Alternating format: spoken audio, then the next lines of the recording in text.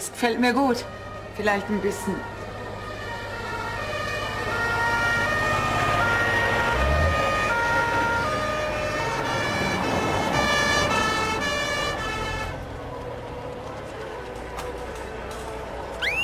Ja, ja, schon gut, schon gut. Ich gehe auch wieder rein.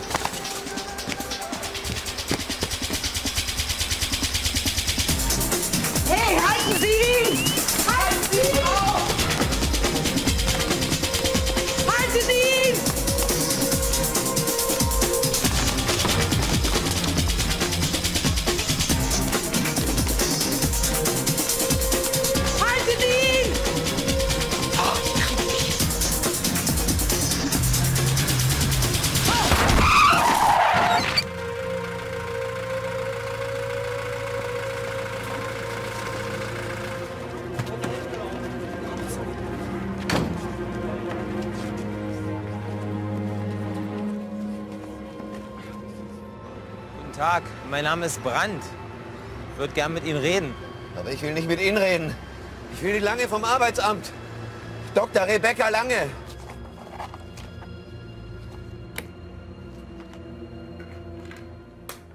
Das ist nicht dein Ernst, oder? Doch, das ist mein Ernst. Ich mache nicht mehr mit. Kommt das nicht ein bisschen plötzlich? Besser plötzlich als zu spät, hm?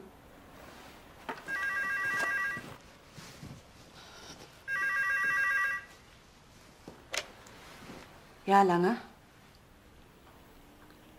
Was? Wer? Muss das sein? Ja, ja, natürlich komme ich. Manfred Hillmann steht auf dem Rathaus und will runterspringen. Der will mit mir reden. Du meine Güte, lass ihn doch springen, dann sind wir ihn los. Der Mann geht auch auf dein Konto, Albert. Du hast zu viel Mist gebaut.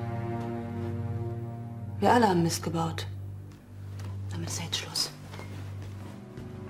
Du hast doch auch davon profitiert.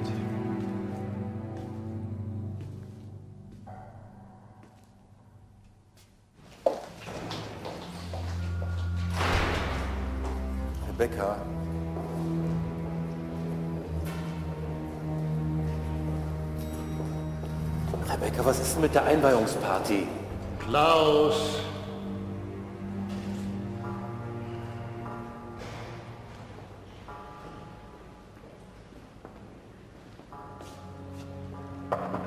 Herein.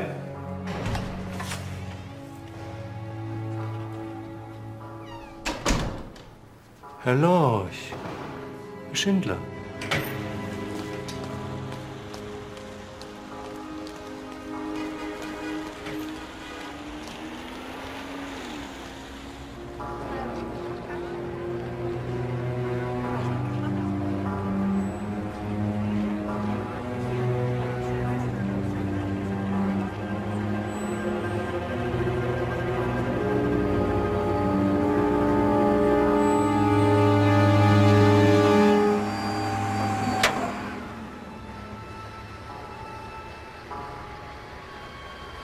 Herr Tillmann, wenn ich mich richtig erinnere, haben Sie eine Frau und zwei kleine Kinder. Ja. Das hat sie aber nicht daran gehindert, mir die Arbeitslosenhilfe zu streichen. Sie haben Ihnen Arbeit besorgt. Sie haben sie verweigert. Weil ich Informatiker bin und kein Bauarbeiter. Herr Tillmann, bitte beruhigen Sie sich. Wir können über alles reden. Auf einmal können wir über alles reden. Ich verspreche Ihnen, ich werde Sie wieder in das Arbeitslosenhilfeprogramm eingliedern. Ist das wahr? Ja.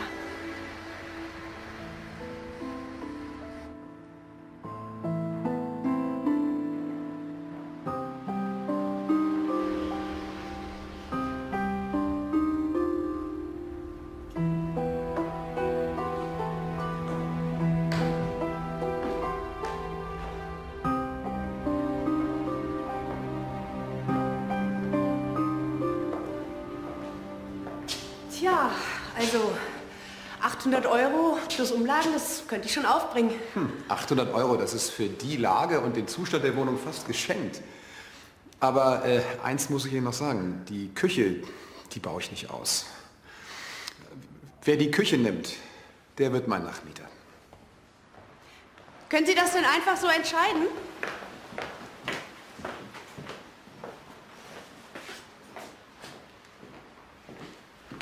Können Sie das entscheiden? Ich, ja, also ich bin vom Vermieter legitimiert. Aber Bonität muss schon sein. Die schöne Küche. Hm. Wer die Küche nicht will, der kann auch die Wohnung nicht haben. Sind Sie im öffentlichen Dienst beschäftigt? Sehe ich so aus? Nein, natürlich nicht. Aber Sie haben schon recht. Ja, das, dann gibt es ja beim Vermieter überhaupt kein Problem. Wissen Sie was, dann bringen Sie einfach morgen die 5000 Euro für die Küche und dann bekommen Sie Vertrag und Schlüssel. Einverstanden.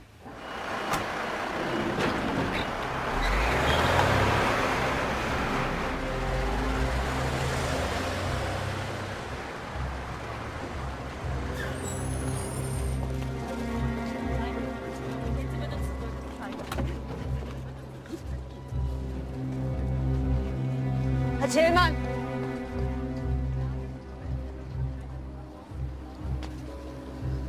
Ich habe Ihnen nicht die ganze Wahrheit gesagt. Ich gehe in Urlaub und ich werde danach nicht mehr ins Amt zurückgehen. Sie haben mich reingelegt. Ich verspreche Ihnen aber, dass mein Nachfolger sich um die Sache kümmern wird. Warum tun Sie mir das an? Warum belügen Sie mich? Frau Lange, das werden Sie bereuen, das schwöre ich Ihnen. Das werden Sie bitte bereuen. Lassen Sie mich doch los. Lassen Sie mich doch los.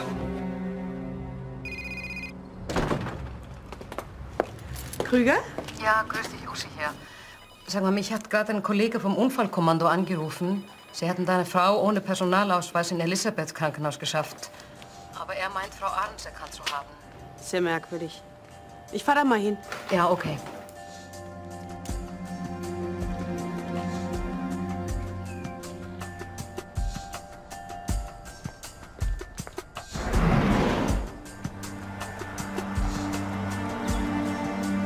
Platten bitte hier, ja? So. Nee, die Torte bitte. Hier. Ist das okay, Klaus? Wann kommt denn Rebecca? Ich weiß es nicht. Nee, kommen Sie hier bitte. Rebecca und Perich sind bestimmt überall im Berge. Ach, Schwachsinn. Du kennst doch den Kerl, damit musst du rechnen. Rechnen? Du hast doch immer gesagt, wenn der aus dem Knast rauskommt, der kann uns gar nichts. Unsere alten wahren Termingeschäfte sind verjährt. Ansonsten steht seine Aussage gegen unsere Aussage. Aber, aber dass er Rebecca umgedreht hat und Rebecca uns jetzt alle erpressen kann, das gefällt mir überhaupt nicht. Rebecca und ich, wir wollen heiraten. Sie wird nichts gegen uns unternehmen. Mach dir nichts vor. Christian Perek ist eine Nummer zu groß für dich. So ein Quatsch.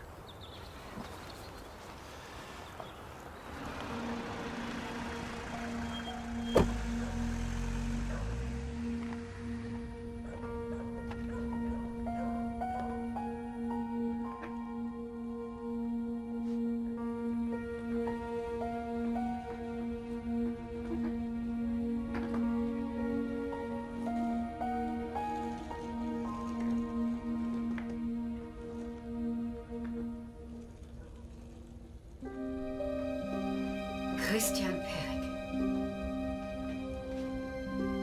Komm, Benjamin. Komm, schlafen gehen.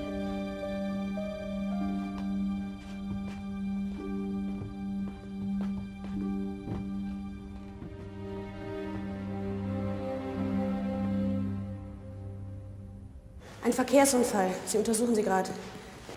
Nein, sie ist nicht in Lebensgefahr, Gott sei Dank. Ja, ich weiß auch nicht, warum sie keine Ausweispapiere bei sich hatte. Schau doch mal nach, ob du sie bei euch findest. Ja, ich warte hier auf dich, klar. Hier das Kleid Ihrer Bekannten. Keine Jacke, keine Tasche? Nein, leider nichts. Danke.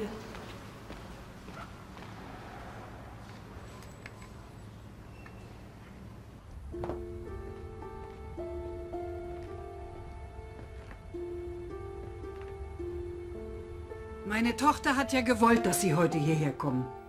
Aber ich muss Ihnen sagen, ich missbillige, dass sie sich mit Ihnen wieder abgibt.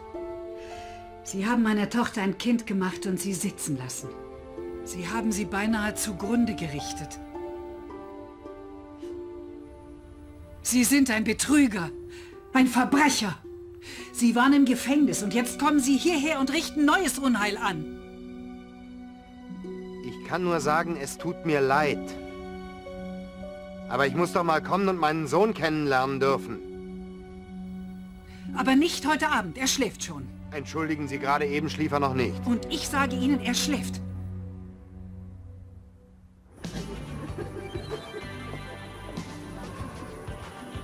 Dr. Schuster, Entschuldigung. Nett, dass Sie kommen. Guten Abend. Ich dachte, Sie bringen Rebecca vielleicht gleich mit. Wieso ist sie gar nicht hier? Nein! Auf ihrer eigenen Party?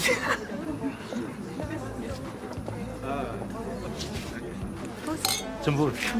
Wo ist denn Ihr Bruder? Da vorne steht er. Ich bringe Sie hin. Herr Dr. Schuster ist da. Bleibt Rebecca. Herr Schuster, Herr Lorch. Ein Foto bitte.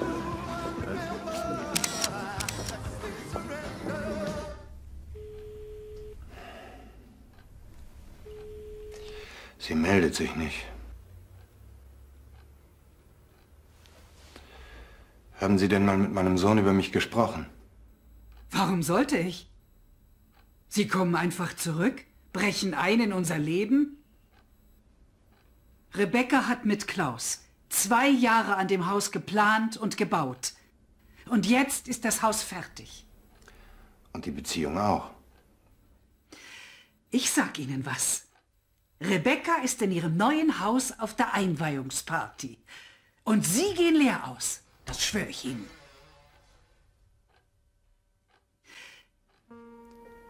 Ich möchte jetzt mit Benjamin sprechen. Wagen Sie es nicht.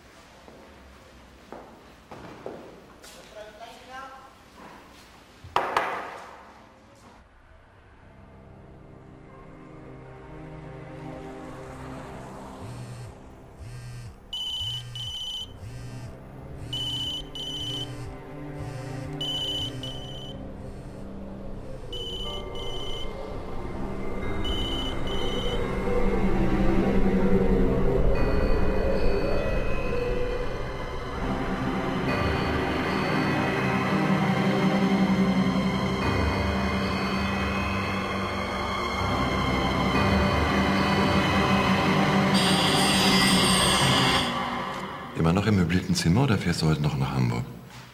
Möbliertes Zimmer. Aber nicht mehr lange. Was in Aussicht?